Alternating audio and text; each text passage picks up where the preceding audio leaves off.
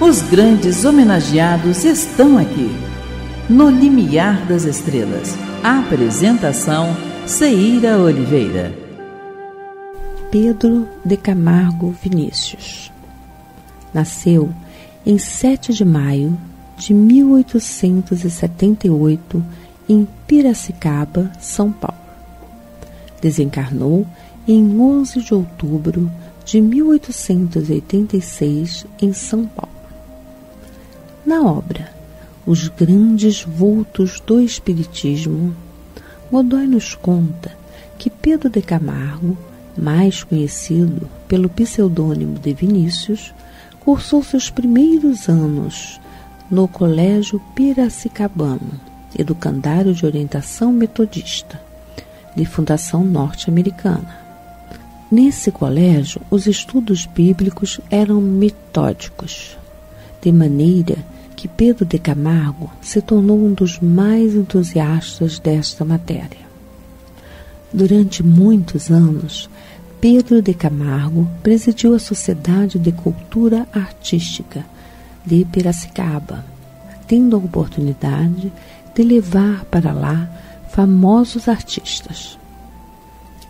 Ele jamais teve tendência à parapolítica, mas chegou a assumir uma cadeira de vereador na Câmara Municipal de Piracicaba. Em 1904 foi fundada a primeira instituição espírita da cidade, com o nome de Igreja Espírita Fora da Caridade Não Há Salvação. Um ano mais tarde, Pedro interessou-se pelo Espiritismo, uma vez que nele encontrou a solução para tudo aquilo que constituía incógnitas em seu espírito. Durante cerca de 30 anos, Pedro desenvolveu em sua cidade natal intenso trabalho de divulgação das verdades evangélicas à luz da doutrina espírita. Nessa época, passou a adotar o pseudônimo de Vinícius. Suas preleções eram estenografadas e logo em seguida largamente difundidas, fazendo com que sua fama se propagasse por toda a circunvizinhança. Em 1938, transferiu seu domicílio para a cidade de São Paulo.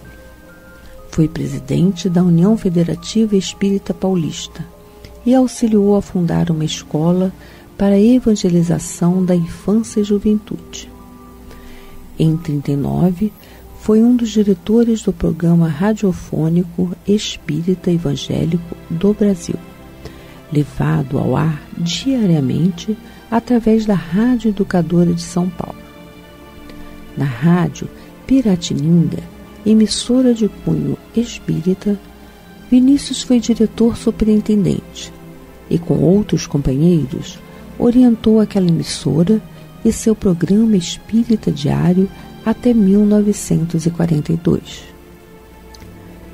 Nessa época, Vinícius já havia se integrado na Federação Espírita do Estado de São Paulo, tornando-se um dos seus conselheiros e ali produzindo as suas tertúlias evangélicas, realizadas todos os domingos de manhã, com apreciável assistência que invariavelmente superlotava o seu salão. De sua bibliografia, destacamos os livros Em torno do Mestre, Na Seara do Mestre, Nas Pegadas do Mestre, Na Escola do Mestre, O Mestre na Educação e Em Busca do Mestre. Obras de marcante relevância no campo da divulgação evangélico-doutrinária. A sua ação se fez sentir vigorosamente quando se cogitou da fundação de uma instituição educacional espírita. Lutou durante muitos anos por este ideal. Foi presidente da fundação do Instituto Espírita de Educação. Ali foi fundado o Externato Hilário Ribeiro, em cuja direção permaneceu até o ano de 62. Vinícius ocupava assiduamente as tribunas das instituições. Homem dotado de ilibado caráter, cometido em suas atitudes e de moral inatacável, tornou-se, de direito de fato, verdadeira bandeira do movimento espírita.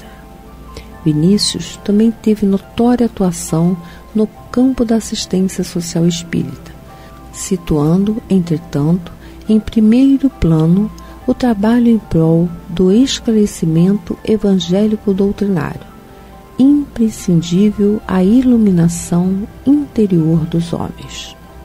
Por tudo isso, pela sua vida, Pedro de Camargo Vinícius está no limiar das estrelas. Você ouviu pela Rádio Rio de Janeiro, No Limiar das Estrelas.